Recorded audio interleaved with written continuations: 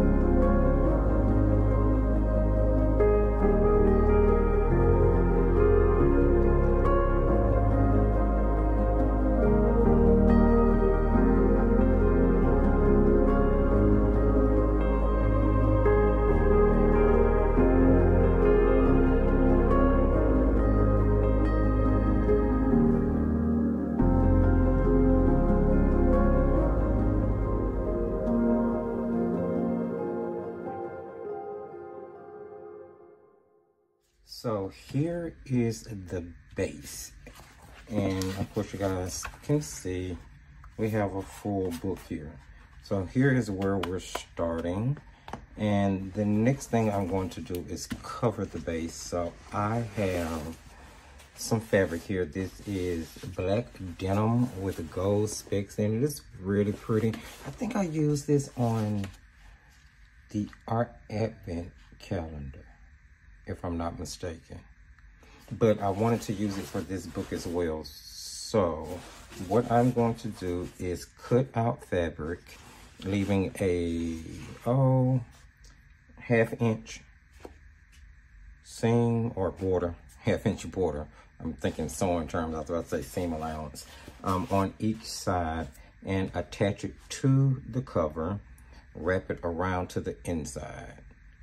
So let's do that. Música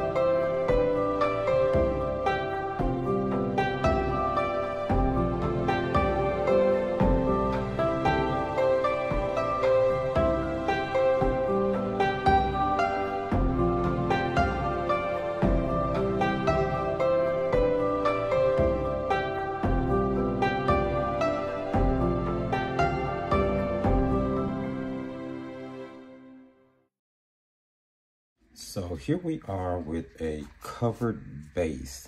A couple of things I want to note. Um, the first one is I used a, this is actually a, almost a denim-like fabric, a, a lightweight denim to cover the journal base with.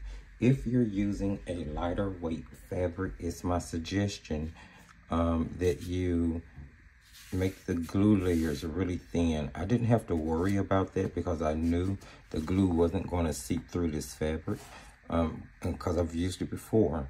But some fabrics, especially on the weight, uh, depending on the weight, excuse me, um, the glue will have the tendency to seep through if you get it in too thick of globs or layers. So I do suggest that, you know, you do spread it out into thinner layers, especially if you're using like a uh, PVA glue, a water-based glue, like your white glues, any white glues, any water-based glue. Um, even if you're using like, here is Aleene's original clear gel tacky glue. It's a really good adhesive, but it is water-based. So, um, you know, they do have the tendency to warp and the um, heater is kicking on guys. So please forgive the noise in the background. Um, so if you were using those, I would definitely give this a lot more time to dry. Press it under something heavy uh, for at least, for me at least overnight. Uh, just to make sure that everything adheres down. And you saw me work really hard on the corners. I want to make sure that the corners are as flat as possible for when we cover the inside of the journal. Now, second note, I used packaging tape in order to um, bind my base together you can use different types of tape. It doesn't have to be packaging tape. Um, just make sure that whatever it is, is going to withstand being opened and closed on a regular basis.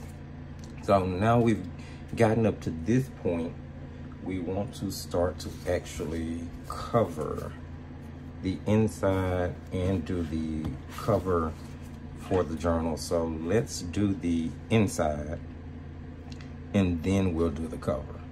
I'm gonna be starting with, um, you guys know I'm trying to use up pattern paper. If you've been watching my crafting videos, I'm really trying to get it used up. This is the Once Upon a Time Premium Paper Stack by DCWV. This is a 12 by 12 um, pattern paper pack. Create your own fairy tale is what they say. Uh, it's actually some really nice paper, truth be told. This brand is carried at my local Joann's. Um, when I originally started crafting a couple years back, I bought stacks and stacks of paper, not really knowing what I was going to need. I wish I knew then what I knew I know now, and I would not have bought so much. Nonetheless, I have to get it used up. There's no sense of it sitting around unused um, being precious. So I want to cover the inside with this pattern paper. And then the leftover scraps are going to make the base for the front cover. And this will be the focal pattern paper for the front cover.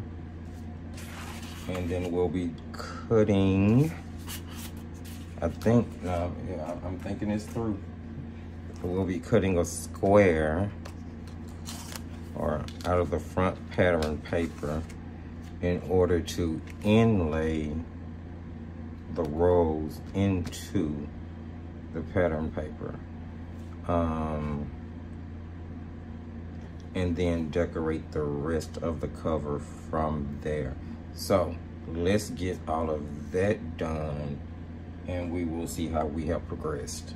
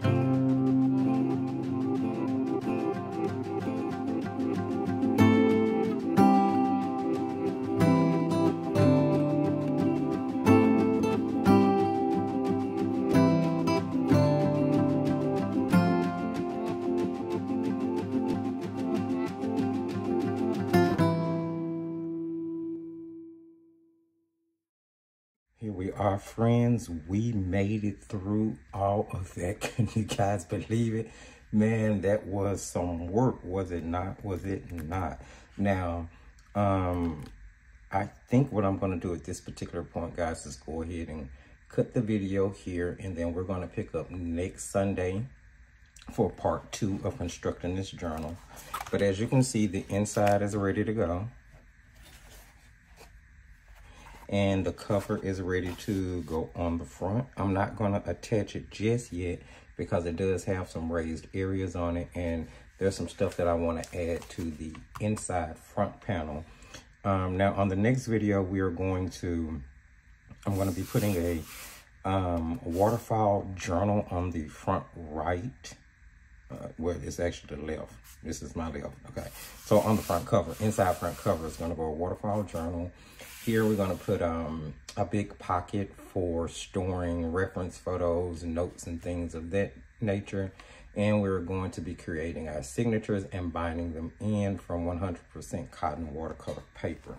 So those are the things. Oh, we're going to put on the closure and add the backing panel to cover the closure on the back.